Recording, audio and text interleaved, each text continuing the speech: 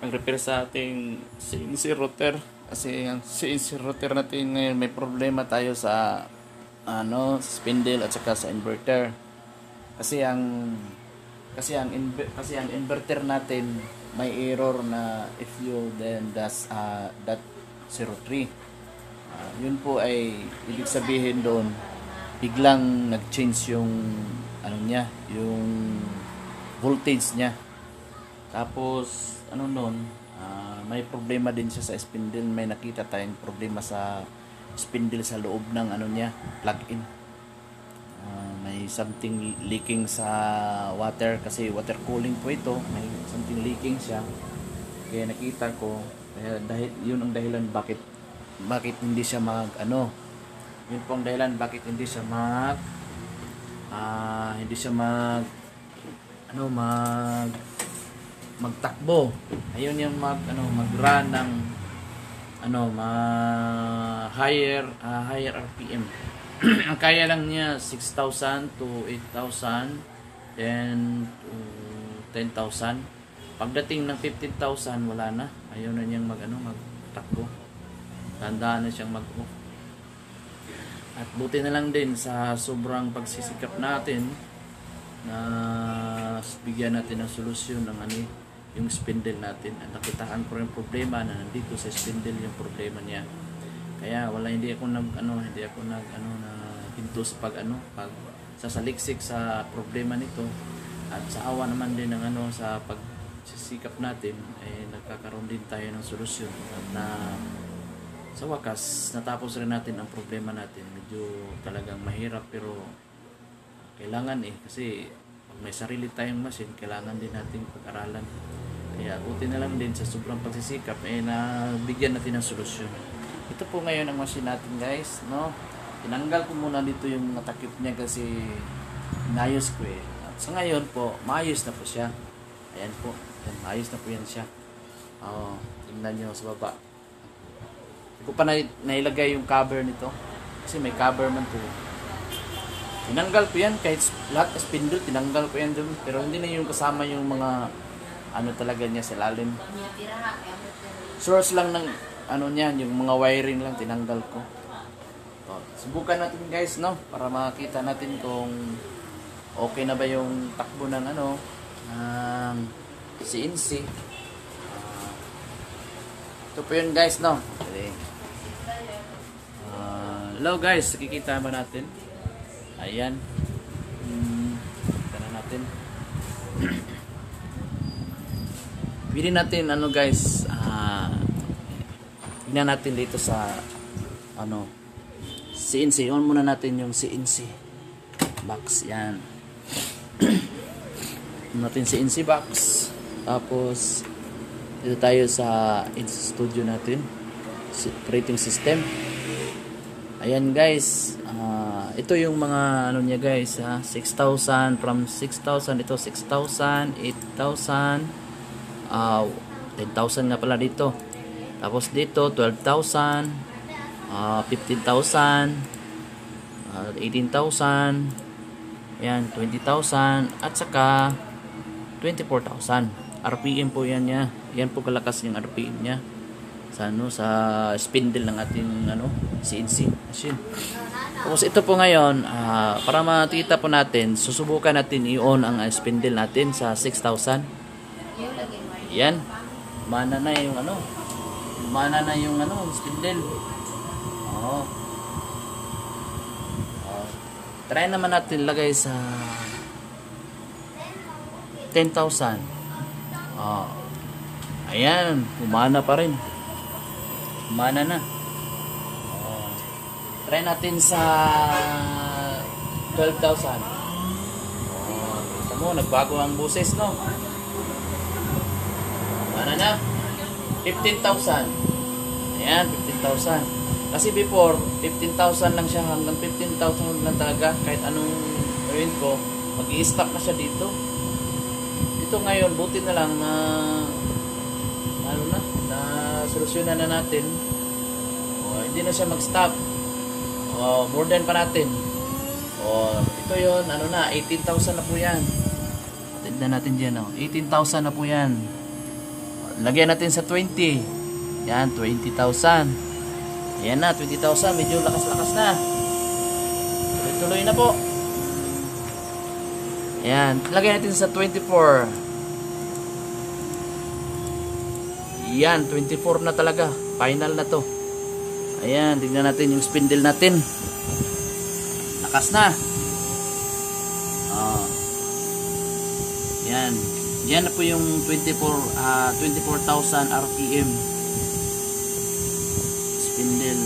Kasi ang spindle natin 3.2 kW kilowatts hour niya.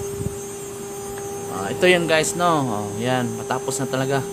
Puti na lang na ano na natin na solusyonan na natin ang solus ano, ang problema.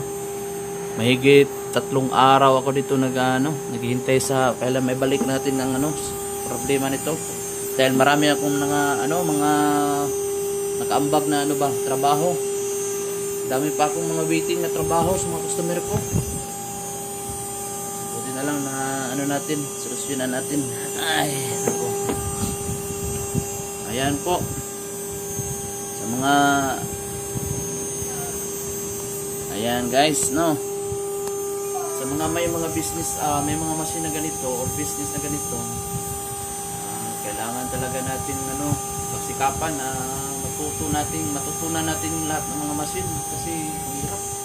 Ganito, mahirap. Wala ka masyadong kilalang technician at saka pagkatiwalaan, mahirap din. Kaya ganito ang ginagawa ko, sikap-sikap na lang, sarili-sarili na lang. Kahit hindi naman talaga ito ang ganito ang ano ko, skills ko ay kailangan, kailangan talaga para pag mas para ano, para sa sarili mong machine. Kailangan mong matutunan. Para sa ganun ay pag may mga problema na lutas mo na lang rin. Kaya mo nang lutasin sa sarili mo lang. Sa awa naman din ng ano, awa naman din ng Panginoon sa pagsisikap natin sa ano, makahanap ng solusyon dito ay sa wakas nahanap na rin natin yung solusyon. Ang hirap, hirap ng ano, hirap ng ano, mag, mag-research ng wala ka masyadong alam. Mahirap. Lalo na sa mga ito, mga mechanical ng problema, mahirap. Buti na lang, nakita ko talaga ang problema. Yan, gumagana na.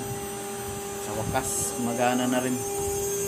Sa mga kabisnes na ito pa yung mga posibilidad na mangyayari sa atin, mga machine. Lalo na yung may mga CNC. Leaking galing sa water cooling. Yun, pag may problema kayo sa mga ganyan, bigla na lang mag-off yung ano nyo, spindle nyo. Pero pag inuulit nyo, ganun pa rin. Mag-on man siya, pero hindi siya ka, hindi niya kaya yung mataas na speed. Ah, malamang ganun na ang problema sa machine nyo. May leaking yan sa loob ng plug-in ng ano, spindle. Doon sa may sa water cooling niya talaga. May dalawa kasi yung rubber. May tendency kasi dyan na lumulusot yung tubig. Gan- Ganun. Kahit may covers, may rubber siya. Tapos dumadaloy sa doon sa ano, sa source ng wiring. Ah, doon magkakaproblema. Kaya mga hanggat maaga, kung mapapansin nyo, stop nyo muna yung machine nyo. Stop nyo, tapos ano na, ibuksan nyo para makikita nyo. Tapos linisan nyo, linisan nyo siya. Tapos yung malinis, bloweran nyo. Lagay ka ng blower. Wag mo na, wag mo na tanggalin yung mga, yung nakatakip na ano, na parang glue. Oh, yung white na parang ano siya, adhesive. Wag mo na tanggalin yun. Bloweran mo lang, tapos sa gilid niya, gilid niya, bloweran nyo, bloweran nyo. Kung masyado madikit, madiin, distansya lang, ganun lang, para hindi masyado masunog. Tama-tama lang. Hanggat sa matutuyo yung sa ilalim, matutuyo, natutuyo yun, pati naman din yung sa plug-in niya, ah yung sa plug-in niya, bloweran mo rin. Distansya lang din para hindi masyadong ma, ma, masunog or maano yung masira yung ano plug-in ng ano spindle mo. Ah, tapos pag natuyo na, pag natuyo na, maya-maya naman, galan mo yan sa maya. Balikan mo na naman. Kasi may moist pa yan eh, may moist. kasi pag malapit rin kang ano, masyadong malapit, madiin yung ano, pag blower mo, magmumuhis yan sa lalim. Kasi metal to eh, magmumuhis yan siya. Kaya, dandaan lang, distansya lang siya. Hanggang sa ma, tuyo, ma, ma-feel mo na medyo matagal-tagal ka na, matatapos na rin yan, na ma- matutuyo na yan sa lalim. Natutuyo na yan siya, balik mo yan sila lahat. Tapos kailangan nakahigpit mo masyado, higitan mo masyado yung plug-in niya. Higitan mo masyado, tapos, tapos tignan mo yung, ano, yung rubber ng water cooling mo. Kasi dalawa yun, kailangan, kailangan maayos din yung pagkalagay. Pag nalagay mo na, na, plus, na, na, nalagay mo yan sa maayos na lagayan niya, tapos saka mo higpitan yung ano niya, round niya. May allen drain man yan or ano bang gamit dyan, higpitan mo lang siya. Ito na guys, pili natin patayin guys kasi medyo mainit na yan. Ayan. Patayin na natin. Umiinit talaga yan siya kasi ano siya eh, walang supply na tubig. Kasi water cooling to, kailangan itong may supply talaga siya na tubig para tuloy-tuloy ang ano gamit. Ah, dito naman tayo, ito success na tayo sa ating problema. Ah, dito naman tayo sa sunod sa pag-operation natin sa wood kasi unang gagamitin ko yung wood muna kasi kailangan ko pa tayo padala sa Maynila ang kasi may-ari nito sa Maynila pa doon sa Navy sa Navy ng ano kampo ng ano Navy kasi ano to eh pa, regalo niya to eh. Ah, ganito po guys no? Ah, sa mga mga naka-experience ng ganito ah, makakatulong yan kung mayroon kayong mga comment o sadyang may mga ano kayo may mga gusto kayong malaman or ano ba yon pwede kayong mag-comment sa ano sa live natin ngayon dito. Ah, baka makakatulong ako or may may bigay akong tulong sa inyo comment lang po kayo. At ma, pag nabasa ko ay magre-reply din tayo sa mga ah, mechanical problem ng ating CNC spindle. Mahirap kasi dito wala tayong makitang technician dito pag ganyan mga pangyayari. Kasi hindi naman talaga to popular dito. Sa labas meron. Marami pero dito hindi pa masyado. Kaya limited pa ang may alam nito.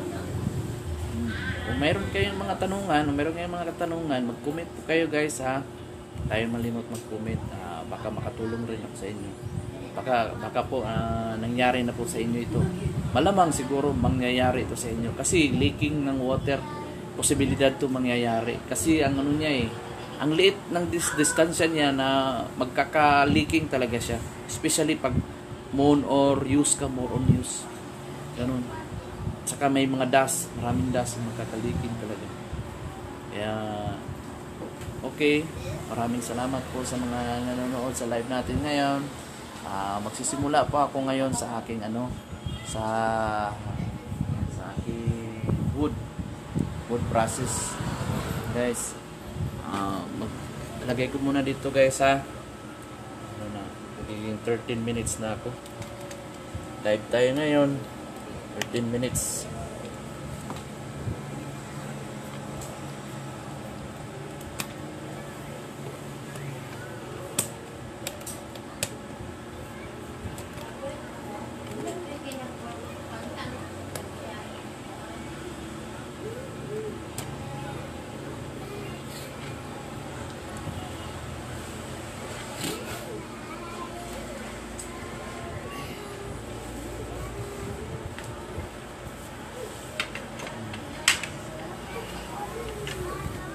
Mm-hmm.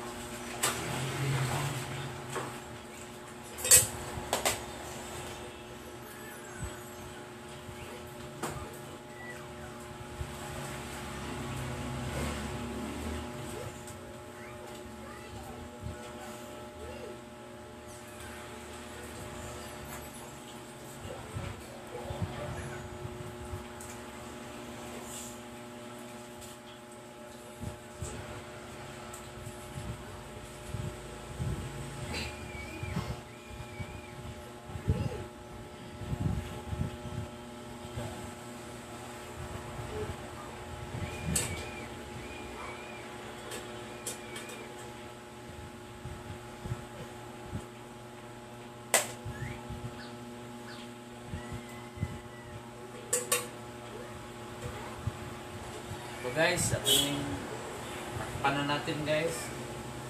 Paano natin yung ano, ah, spindle protection kasi ito para sa mga ano ba. Uh, kagaya ng mga ano, mahulugan ng mahulugan ng ano mahulugan ng mga bakal, mga ano, bikal, par yan, wood, galing sa mga surface, materials, baka mahulugan siya. Kaya, iwasan natin. Kasi spindle, mahal. Mahal po ang spindle. Ito pong pinakamahal sa lahat, spindle. Kasi ito ang gumagana.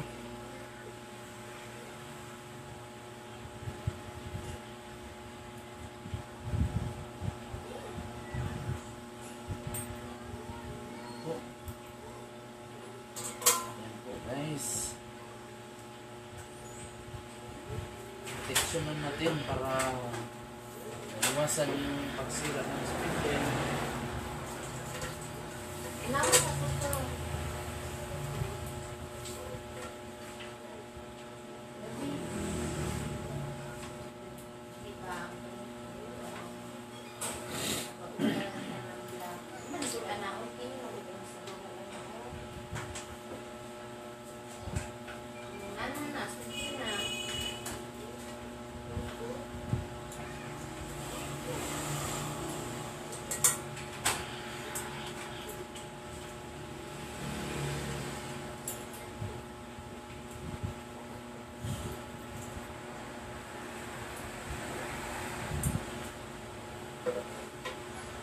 ni siya reverse ang isa niyan. Ano lang?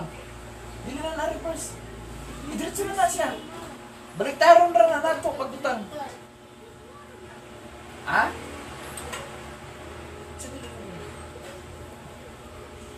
Basa ni mo? Ay, eh, meron ni mo. Wala siguro may mga meron dito. Ay, sa kana? Oo. Ang dili mo na mao. Dili na mo ay mga print. Imo Ano? man yung nakasave dira. Dili ka buok. Duwa pa ako na print. Ayaw na. Bas, masapol. Dili kaya ang nakasave man gud nimo wala ko gilabtan gi-print na na ko. Pero, mo ba na ang giprint na to? Dili man siguro. Ambot lang eh wa may nakasave daan sa kurin. Pila ka buok sulod? Iya pa. Seven. Pero wala siya ang is ang ikaduha reverse ba dapat kay para mo continue siya. Dili baliktad-baliktad na siya dapat. Baliktad-baliktad ba? Butin mo eh, nga dapat mo na to tong sit up para dili mag baliktad-baliktad.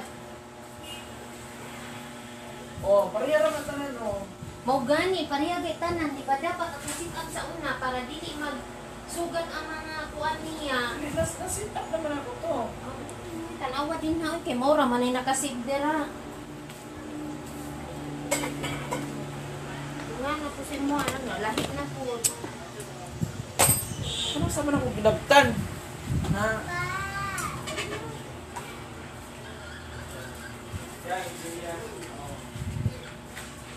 Yatag Back up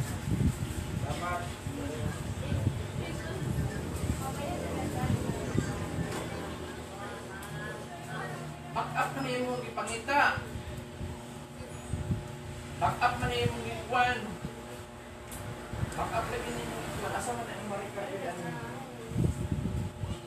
Wala na dire. tanawa dito sa gawas. Back up man.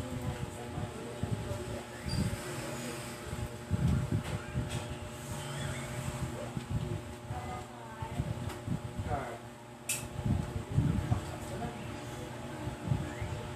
Isa.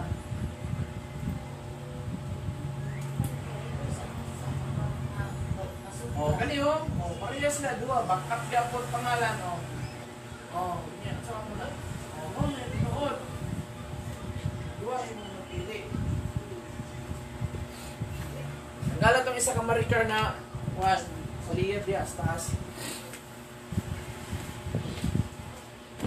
Ay, Tanawa tong uban na marpid. Diretso ra na mag-print. Tama ba na ko? ama na siya isa kaysa lang siya kakuan. Isa lang ka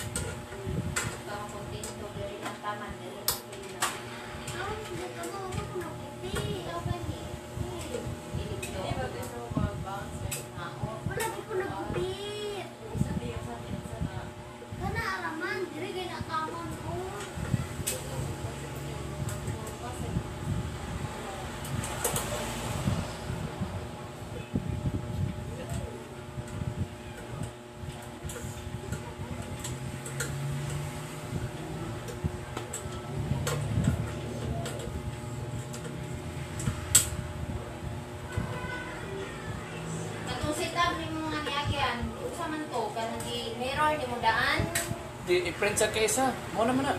Tanawa lang siya. Sa sa kwan ba sa Ipson tanawa. Naka-mirror siya wala. Wala ni nang kamiro. Sa Ipson? Sure ka? Nara o. Sa mirror sa Ipson ba? Sa Epson wala kay nagmiro kay daan ako nang giingnan nga dili na ako imimiro. Di ba dito mato makag Ipson, more settings. O gani O wala. dito tanawa dito naka-check wala. Wala gani. Uy, check. Kaya di ako naka-mirror. Di ako naka-mirror. Sa Epson man ko naka-mirror. Wala man ko ga-mirror sa Kuril. Uy, mongge na giawayan to ni Agi. Kinaanan ko diri sa kwan Epson. Tanawa, good na kung makita ka niyo sa primero. Lagi kabalo ko pero ako mo tong gitinganan nimong giingon nga sa Pero dili na nimo sa isgot ang pass. Kaya ang pass ug ang karon dili pareha. Ang mo. Pareha din na tanawa daw ng atubangan na na. Dili man. Nahulog ni Agi na pinangutanan na diretso-diretso. Be, manguman ta tanawa. Tanawa tanawa yung bukod niya, tanawa yung bukod niya. Wala lagi. Ayaw lagi sige yung. Tanawa oh, unsa man? Meron dili. Ambot lang, di mo ko kabalo darang tanaw. Mabasa. Dili mo ko Dili sa pa,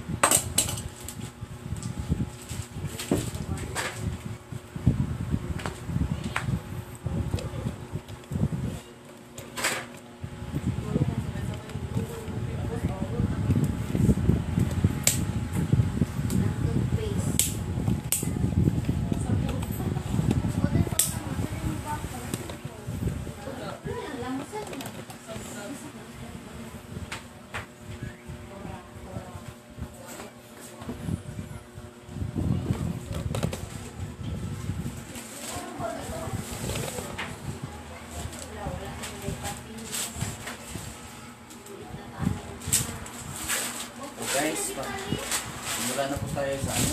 Carving.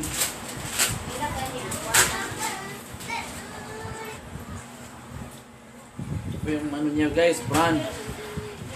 Yan, brand ng palusina. Yan po ang ginagamit ko.